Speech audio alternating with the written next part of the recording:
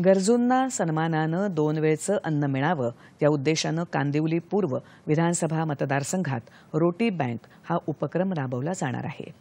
भाजपाचे आमदार अतुल भातखळकर यांच्या संकल्पनेतून हा उपक्रम राबवण्यात येत असून खासदार गोपाळ शेट्टी यांच्या हस्ते आज या उपक्रमाची सुरुवात झाली.